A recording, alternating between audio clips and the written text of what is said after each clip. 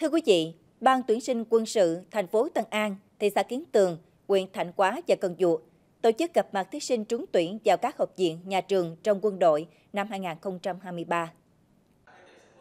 Năm nay, thành phố Tân An có 14 thí sinh trúng tuyển, trong đó 10 thí sinh trúng tuyển vào các học viện nhà trường trong quân đội. Ngành quân sự cơ sở có 3 thí sinh trúng tuyển đại học, một thí sinh trúng tuyển gian bằng 2. Tại buổi gặp mặt, lãnh đạo Ban Chỉ huy quân sự thành phố Tân An mong các em tiếp tục phát huy sức trẻ, ra sức phấn đấu rèn luyện, khắc phục mọi khó khăn để học tập thật tốt, trở thành những sĩ quan quân nhân xuất sắc của quân đội, góp phần xây dựng quê hương. Ban Chỉ huy quân sự thị xã Kiến Tường tổ chức gặp mặt động viên 4 thí sinh trúng tuyển vào các học viện, trường trong quân đội năm 2023.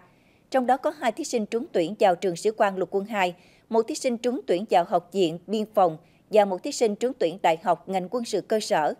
Tại buổi gặp mặt, lãnh đạo Ban Chỉ huy quân sự thị xã Kiến Tường động viên các em phấn đấu học tập, góp phần xây dựng và bảo vệ Tổ quốc.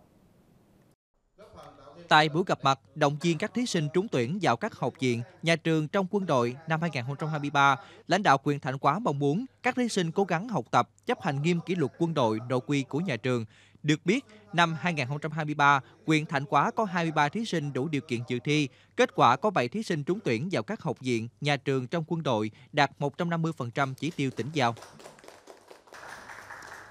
Năm 2023, huyện Cần Duộc có 28 thí sinh đăng ký dự thi vào các học viện trường quân đội. Kết quả có 3 thí sinh trúng tuyển vào các trường Học viện Kỹ thuật Quân sự Lục quân 2, Sĩ quan Tăng Thiết Giáp và 6 thí sinh trúng tuyển ngành quân sự cơ sở. Tại buổi gặp mặt, lãnh đạo Ban Chỉ huy quân sự quyện mong muốn các em trúng tuyển khi nhập học tích cực học tập, rèn luyện, chấp hành nghiêm kỷ luật quân đội, khắc phục mọi khó khăn, hoàn thành khóa học với kết quả cao nhất để trở thành những quân nhân ưu tú, đáp ứng với yêu cầu xây dựng quân đội.